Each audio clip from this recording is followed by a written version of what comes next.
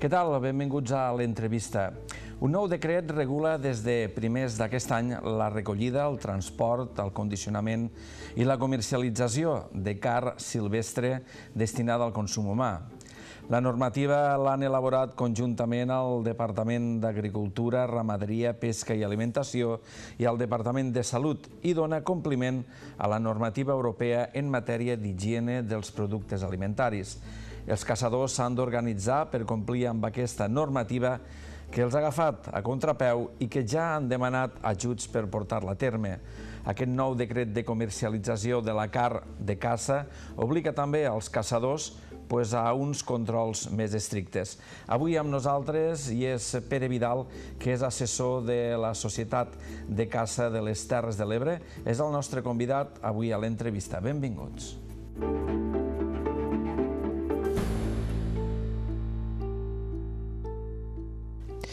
Pere Vidal, assessor de la Federació de Caça de les Terres de l'Ebre, benvingut. Moltes comentàvem, gràcies i bona tarda. Comentàvem a la nostra introducció que, clar, cada vegada els caçadors teniu més normatives que complir i aquesta normativa eh, no només us eh, obliga a complir amb, amb les diferents mesures que havíeu de complir abans, sinó que ara, per dir-ho de manera popular, ja no podeu eh, manipular eh, la car de caça que caceu eh, de la manera que ho feu. Necessiteu un control més estricte, unes mesures d'higiene més estrictes i aquí cal prendre, cal prendre bueno, determinacions importants. Bé, anem a veure. La qüestió és que realment eh, les mesures sanitàries i les mesures preventives ja les teníem i ja les fem, no? El que passa és que això, eh, este decret, el que acaba és regular-ho i el que acaba és, com ho diríem, donar-li eh, la part administrativa, donar-li una part administrativa, que el que sí que en realitat eh, permet és una major traçabilitat exactament de cada, de cada animal en aquest moment que es casa. A veure, este, este decret eh, surt com a conseqüència de la proliferació que hi ha en aquests moments de determinades espècies, sobretot de caça major, en aquest cas concret eh, seria, per exemple, el port senglar, que en aquest moment està en una fase expansiva molt gran, i tot això surt com a conseqüència de que eh, en el moment en què això, eh, aquestes espècies se comencen a expandir pel territori, eh, permet, permet també la comercialització d'aquesta carn. No? De fet, la carn de caça ha estat sempre pràcticament per a consum interior, per a consum propi, no? Però bé, la veritat és que és una car que té unes qualitats molt importants eh, des del punt de vista, des del punt de vista inclús diríem de, de, de qualitat de car, no? de la gastronòmic. Qualitat, i, i, exactament, i gastronòmic, i això pues, comporta que efectivament se, se pugui aprofitar aquesta qualitat que té.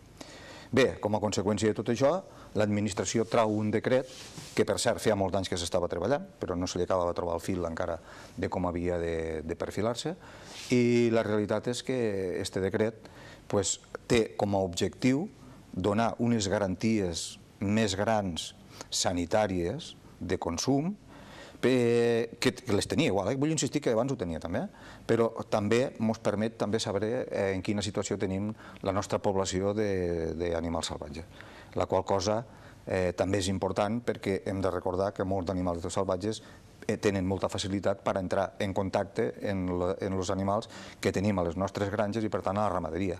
Per tant, va molt bé saber quina, la, és la salut d'aquests animals per a poder previndre possibles malalties a explotacions ramaderes. Clar, concretament, què s'ha de fer ara amb la carn de caça? És a dir, ara les colles que van, per exemple, a la cacera del jabalí, cacen tres peces de jabalí, i això vol dir que, no sé si ara, perquè crec que el decret eh, obliga a partir de primers de la pròxima temporada, pot ser, o ja està vigent? Bé, de fet, el decret eh, té una disposició transitòria, però que no acaba clarificant gran cosa. Eh, de fet, teòricament hauria de començar a, a posar-se en marxa, no? Tot i que eh, realment el procediment és un procediment que està eh, molt informatitzat, per tant, tot pràcticament se pot resoldre a través de via internet i encara els models no estan en marxa. Per tant, això acaba volent dir que eh, realment mm, falta encara una mica de temps per a poder-ho posar en marxa eh, de forma regular. Què, què, què succeirà amb aquestes peces, per exemple, de jabalí que es cacen qualsevol dels caps de setmana que estan que, estan, que està permès? Bé, bé lo decret, eh, lo decret lo que, lo que busca eh, és que hi hagi una traçabilitat des del moment en què aquest animal ha estat caçat, hi hagi una traçabilitat fins que arriba al consumidor. I en dins d'aquesta traçabilitat s'han de fer una sèrie d'analítiques, s'han de fer una sèrie de, de controls sanitaris que, per un costat, tal com dia abans, permeten donar garanties, més garanties no totes perquè ja les tenim abans, per dir, més garanties de, de, de, uh, de salut, o sigui, més garanties de consum, en un consum que sigui correcte i, a part, també permet saber quina és la situació de la dels nostres animals. En aquest cas, tenim que tenir en compte que, per exemple, tenim el porc senglar, eh, tenim la peste, la peste porcina, tenim, en definitiva, diferents, diferents eh, possibilitats de, de malalties que, bueno, que va bé controlar-les. De fet, este decret eh, està fet eh, no tan sols per a la casa major, sinó que també per a la casa menor, passa que la casa menor eh, és més complexa perquè llavors ha de ser ja perquè ha de ser en un grup d'animal, vull dir, hi ha un número d'animals determinat, ja no podem anar animal per animal, i concretament el tema de la casa major, el tema de la casa major, el que contempla és el següent. O sigui, de fet, el procediment seria el següent. Eh, hi ha una cacera de porc senglar, eh, abaten els porcs senglars que siguen, els que aquell dia els hagi sortit bé, Lògicament, prèviament a tot això s'ha tingut que fer totes les mesures preventives de cara als accidents de la batuda, sabeu que hi ha una aplicació d'una senyalització, en, fi, en definitiva una sèrie de disposicions que sempre es compleixen, i que a partir d'aquí el que se fa és que una vegada aquest animal ha estat abatut, a partir d'aquest moment hi ha una persona responsable a la colla que és, i preparada, a més ha tingut que fer un curs previ, eh, que és qui se responsabilitzarà d'aquest animal fins que arribi a un lloc que facin, eh, lo, eh, que al final tota la gestió de la carn. No? Ho explico i, i a poc a poc anirem. Per tant, a partir d'aquest moment, se mata un porc senglar, eh, va en un punt logístic. Este punt logístic, eh, concretament a les Terres de l'Ebre, intentarem que n'hi hagi quatre. Per què? Perquè el que intentarem és que n'hi hagi una cada comarca. N'hi ha algun que funciona, eh? a Horta Sant Joan n'hi ha un que funciona, i el que intentarem és que n'hi hagi una a cada comarca. En aquest punt logístic, el que se fa és que l'animal eh, se li trauen les vísceres, aquestes vísceres se queden conjuntament al costat de l'animal i ja es fa un anàlisi visual de quina és la situació. Això qui ho fa és la persona responsable que ha tingut la formació per a, eh, poder-ho fer. De fet, és la persona que des de que aquell animal s'ha batut al lloc de cacera que li ha posat un precinte a partir d'aquí, en la qual cosa ja sabem quin animal és en tot el procés, i aquest animal arriba allà i, i se li trauen les vísceres, això ho està controlant ell des del primer moment. A partir d'aquí s'emet un certificat de que, en principi, l'animal pareix que tot està bé. I d'aquí va a uns centres, a uns altres centres, concretament, concretament se li diuen eh, establiments, de, establiments de manipulació, aquests establiments de manipulació vindrien a ser com escorxadors legalitzats. De fet, poden ser empreses, que normalment va així. Fan cap en aquests llocs i entremig, en cas de ser un porc senglar, hi ha una analítica d'un veterinari per a garantir que este animal no té cap tipus de triquinosi. Com a conseqüència de tot això, quan va a l'establiment de manipulació, a partir d'aquí se desquartera i es fa, en definitiva, el que s'hagi de fer en aquest animal i pot ja directament després anar a consum. Este és el procediment, més o menys. Eh, aquests establiments de manipulació mm. eh, estan creats, s'han de crear? No, ja n'hi ha, ja n'hi ha. A Catalunya, a Catalunya concretament... Es poden agrupar per diferents societats per posar-les en marxa? No, no, no. No estem parlant no. de que cadascú, a partir de, eh, de, que, que es pot manipular un jabalí no. a l'almacén de casa? No, o sigui, anem a veure. No, no, no, això s'ha acabat. Això s'ha acabat. Eh? Eh, s'ha acabat. Vaig cap concepte.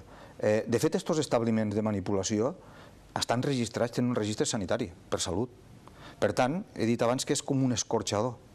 Per tant, això vol dir que aquests establiments estan totalment legalitzats per a aquesta activitat. I aquí sí que no té absolutament res que veure ja ni els caçadors ni el Departament, en aquest cas, d'Agricultura. Ni el responsable d'aquella peça? Ni el responsable, el responsable ha deixat de ser responsable d'això quan ha fet l'informe i ha vingut un establiment manipulador i se l'han dut. Si aquesta carn és per a consum propi també, també ha de passar per aquest establiment manipulador? No. Si és per a consum propi... A eh, partir eh, del primer a partir, a partir del punt logístic, vist l'informe de la persona competent eh, i feta l'analítica corresponent, pot anar també llavors al, al consum propi. Aquests punts logístics estan creats Concretament aquí a, aquí a les Terres de l'Ebre tenim un punt que, tal com he comentat abans, que està a Horta Sant Joan, i n'hi ha algun més, n'hi ha algun més a Roquetes, vull dir, però clar, estem en una fase inicial. Vull dir, tot això és exactament el que ens fa falta fer a partir d'ara. Que lògicament tot això té un cost econòmic, i aquest cost econòmic és molt difícil d'assumir per les societats de caçadors, inclús fins per la federació. Per tant, aquí és on sí que el departament ha de fer un segon pas, que és poder donar subvencions per a que això se pugui portar a terme. Per què? Perquè, lògicament, aquests punts logístics tenen que tenir unes condicions.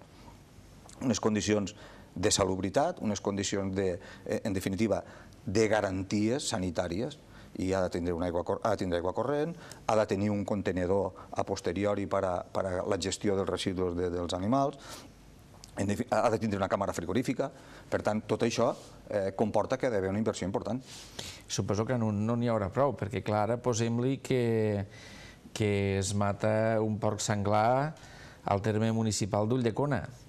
Eh, Això és el que comentava abans. O que... al terme municipal de la Mella sí. de Mar i el punt està Roquetes. Sí. Suposo que entre diverses agrupacions o associacions de caçadors poden posar-se d'acord per habilitar en un punt intermig algun Sí, de fet, de fet anem a veure, això eh, ho estem coordinant des de la federació.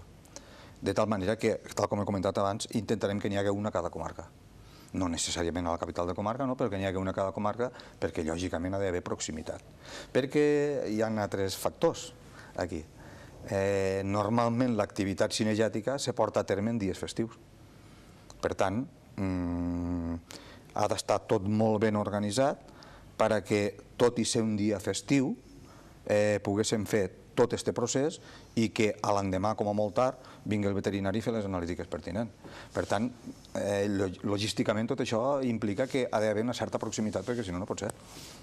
Eh, el departament què diu? Ha anat a demanar Suposo que ajut econòmic per habilitar aquests punts. Bé, eh, no fa molt de temps eh, li vau fer una, va fer unes declaracions on està concretament aquí eh, el president de la federació, Manuel Rollo, i bueno, ja va dir que efectivament el que se necessitava era un ajut.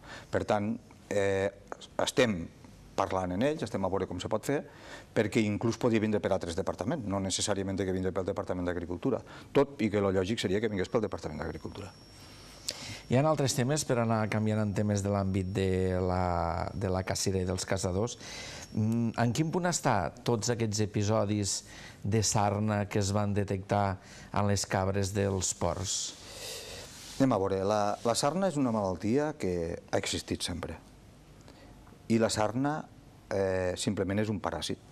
És un paràsit que en un tractament eh, no té massa inconvenient per a, per erradicar-lo en un moment determinat d'un animal. No? El problema és quan entrem en espècies salvatges.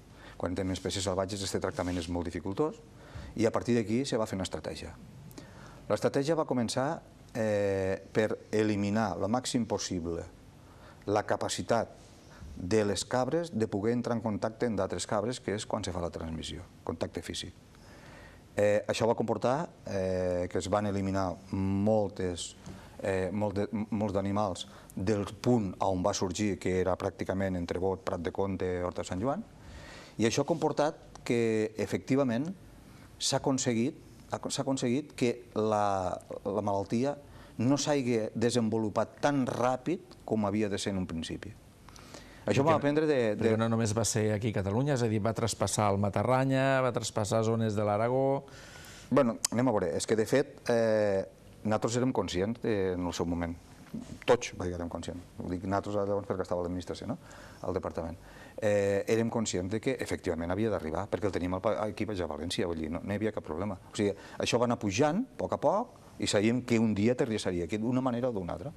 Això va comportar ja en el seu moment que es fes un tancat, se fes un tancat on hi ha guardades una sèrie de cabres perquè si mos passés algun episodi molt greu que haguessin de morir moltes cabres, continuéssim tenint els gens que nosaltres teníem de la nostra cabra d'aquí.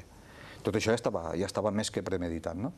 I a partir d'aquí, què es va fer? Eh, se va intentar disminuir la població en aquests punts perquè la transmissió fos més lenta, en un objectiu, que quan la malaltia arribés al final de la reserva, l'inici, que és on va començar tot, se comencés a recuperar.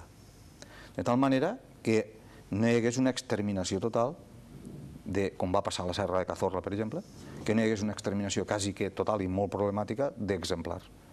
I això és el que crec que s'ha acabat aconseguint, perquè de fet ara sí que comencem a tenir pràcticament a l'altre extrem, però han passat molts d'anys ja. I per tant, el lloc on se va iniciar comença ja una altra vegada a regenerar-se. Perquè la malaltia és una malaltia que es quedarà. Això no és una malaltia que se n'anirà, s'han fet moltes coses, s'han fet tractaments en menjar i tal, però la malaltia es quedarà. La malaltia, l'únic que acabarà passant és que serà una malaltia més que determinats exemplars seran capaços de suportar. En la qual cosa, en aquesta adaptació, mos garantitzarem que continuem tenint la població que tenim. I que va d'aquí que també s'haguen d'anar complint aquests requisits de controls eh, en la higiene i la salut d'aquestes peces quan arriben al consum humà. Exactament. De fet, de fet, anem a veure, ja estem parlant del porc senglar en quant al decret, però eh, de fet eh, no afecta el, porc senglar, afecta, el cabirol, afecta el cèrvol, afecta la daina, afecta, afecta l'isar, eh, en definitiva totes les espècies que, que, que tenim, no? I la cabra salvatge, lògicament. També hem de dir que aquí a les Terres de l'Ebre hi ha una empresa que es dedica a la comercialització de la carta de la cabra salvatge. Per tant, tot això jo crec que va dins de la línia de, del que havia d'anar. Del que, del que havíem parlat. Eh, anem cap al Delta de l'Ebre perquè el sector caçador eh, aquest any està bastant descontent amb, bueno, amb les propostes que s'han produït en quant a les ordres de caça. És a dir, pareix que, que des del sector se veuen moltes dificultats i això pareix que ja s'ha traslladat a l'administració per a que mirin, com a mínim, de, de fer-ho d'alguna altra manera. Bé, anem a veure. És un tema no complex. no fa molt temps una persona em va dir, diu, quina diferència hi ha més gran entre la Terra Alta i la Ribera d'Ebre i el Baix Ebre i Montsià? I li vaig dir, pues no. En l'àmbit sí, de la caça? O no, no, en tots els àmbits. En tots els àmbits. Tots. Però li vaig dir, pues no, tens raó, hi ha molta diferència. Dic, però hi ha una tercera diferència que difícilment l'acabaràs coneixent, que és de la 340 per avall. De 340 per avall és un món. El delta és un món. És un món on han d'haver molts equilibris perquè hi ha un factor que ho lliga tot, que és l'aigua. A partir d'aquí, jo sempre dic que al delta hi ha 25-30 filets que quan ne toques un se'n mouen 10. Per tant, al tanto, quan ne toques un i les tires una mica fort, perquè el que provoca és un terratrèmol delta. I ara ha passat una mica això, no? Ara, què ha passat? Bé, doncs que per diferents motius, eh, en aquests moments ens ha sortit una proposta d'ordre de vedes que és un punt totalment i a part de lo que havíem fet fins ara. La realitat és que això ha comportat que eh, Societat de Caçadors del Delta, en aquest cas, i la Federació de Caça, eh, s'hagué eh, revoltat bastant, estéssim molt enfadats en l'administració, concretament en aquest cas en el Departament d'Agricultura, perquè les coses no s'han fet com s'havien de fer. Normalment el procediment és que se fa una proposta d'ordre de vedes, que es discuteix al Consell Territorial de cada lloc, concretament aquí les Terres de l'Ebre, i a partir d'aquesta proposta se porten les propostes al Consell, al, Consell, eh, al Consell eh, de Caça de Catalunya, i és d'allí on acaba sortint l'ordre de veda. Bé, doncs la qüestió va ser que vam presentar, ens vam presentar una proposta, aquí a les Terres de l'Ebre, la vam discutir, i quan vam arribar allí, allà a, a, a, a Barcelona, al Consell de, de, de Casa de Catalunya, ens havien canviat la proposta. Per tant, no havíem tingut temps ni de mirar-la. Tot això va comportar una sèrie de limitacions bastant grans a la cacera al Delta. Podem posar algun exemple? Sí, bueno, pues, eh, per exemple, eh, concretament eh, el sarcet, és una espècie de dane, eh, és, la segona, és la segona au que tenim en tots els censos al Delta de l'Ebre i bueno, se mos, se mos eliminava la cacera, se mos eliminava durant pràcticament 20 dies abans de lo, de lo normal. Teníem una altra qüestió que és eh, que el Delta es pot caçar tots els dies, se podia caçar tots els dies fins ara, i la proposta era que només fossin tres dies. I tot això, tot això anem a veure, té totes les tot això té les seues explicacions. No està així perquè sí, des de fa no sé quants d'anys. Tot això està perquè sí, així, perquè té els, seus motius. Concretament, concretament, eh, quan va sortir el tema del caragol poma, un dia vaig dir que el delta a partir d'ara no seria el mateix que nosaltres coneixíem. Així segut. Per què? Pues perquè, entre altres coses, per culpa del caragol i per a poder fer efectiva la lluita del caragol poma... S'ha de secar. S'ha entret la mesura agroambiental de la inundació. Això què comporta? Home, comporta que abans els camps s'assecaven al 31 de gener. Però és que ara els camps s'assequen pràcticament al moment de secar en un tant per cent elevat ja. O sigui, ja se seca sec, se seca sec. Per tant, han passat que de, de tenir fins al 31 de gener el 100% de la làmina d'aigua al delta, han passat al mes d'octubre, que només ens queda un 80% ja pràcticament. Després, al mes de novembre, ve a quedar un 60, un 70. Al mes de desembre continua quedant més o menys els 60, 70, ja comença a baixar. Al mes de gener se queda aproximadament un 40, 30, 35-40%. I al mes de febrer se queda en un 17%. Però és que este tant per cent del mes de gener i este tant per cent del mes de febrer és única i exclusivament per interessos cinegètics. És a dir, són els caçadors els que aguanten l'aigua i els que omplen l'aigua. Perquè el pagès, lògicament, el que voldria és, quan més pronte millor, que s'assequen els camps i pugui treballar els tractors, en els tractors i la maquinària per poder fer les feines. Per tant, en aquest moment nosaltres som els que garantim una làmina d'aigua al delta que no és per les espècies cinegètiques, perquè de fet al mes de febrer hi ha dues espècies cinegètiques també. Però això permet que moltes altres espècies protegides... Que no són cinegètiques, que, no són cinegètiques, puguen aprofitar, puguen aprofitar aquesta aigua puguen aprofitar, que els aquesta aigua puguen aprofitar esta veritat. Esta, esta la qüestió. Eh? De fet, vam fer un estudi ara, este mes de febrer, de tots els llocs on quedava aigua al delta de l'Ebre i aquest estudi ens va permetre arribar a la conclusió de que se queda un 17% al mes de febrer en aigua, conseqüència de l'activitat cinegètica. Creieu que té marge de maniobra i de tornar més o menys a la normalitat? Bé, ens estem negociant, pareix que les negociacions van bé, s'ha de dir, la veritat és que pareix que les negociacions van bé, però una cosa sí que tenim molt clara, fins que no viguéssim publicada l'ordre de vedes, eh, nosaltres continuarem pressionant a l'administració perquè faci el que ha de fer. I si l'ordre de vedes que surt no és satisfactòria, eh, a partir d'aquí eh, s'ha mogut el fil i ha terratremo segur. Perquè hem de ser conscients de tot això. O sigui, he dit abans que hi ha moltes coses que es lliguen entre si. Estan aquí dins mig els danys a l'agricultura. Els danys a l'agricultura van lligats dins. Per tant, eh, hem de ser conscients de que vindrà ara el mes d'abril, maig, que els pagesos treballen durant el dia i per la nit espantant aus perquè els ho provoquen molts de danys. Per tant, hem de ser conscients de que tot això és un equilibri molt complex. I mira, eh, t'ho explicaré d'una forma senzilla. Una persona em va dir un dia, mira, Pere, tu saps quina és la feina d'un director de serveis territorial? Dic, quina? Diu, arreglar tots els follons que et foten els de Barcelona. Diu, totes aquelles decisions que prenen els de Barcelona, que no són conscients perquè no coneixen la problemàtica, te generen un problema que és lo tu, eh, ets tu qui les ha de resoldre. Diu, és la feina del delegat territorial. I això és el que passa. En aquest cas estem parlant del mateix. Molt Pere Vidal, escolta, moltíssimes gràcies per haver vingut i esperem que a poc a poc se vagin solucionant tots aquests problemes. Bueno, jo crec que sí. La, jo crec que anem bé i la solució crec que arribarà. Moltíssimes gràcies. Molt bé. Pere Vidal, assessor de la Federació de Caça de les Terres de l'Ebre, avui a l'entrevista parlant-nos bueno, d'aquesta nova normativa que regula, com ens dia Pere, la traçabilitat de les peces de caça major perquè arribin al consumidor, ja sigui eh, consumidor familiar, intern o també a través de la comercialització en certes garanties i de passada també hem tocat altres temes com l'estat de les cabres dels ports o fins i tot aquestes ordres de veda que han portat una mica la polèmica als caçadors del Delta de l'Ebre. Moltíssimes gràcies, fins a la pròxima. Adéu-siau. Gràcies.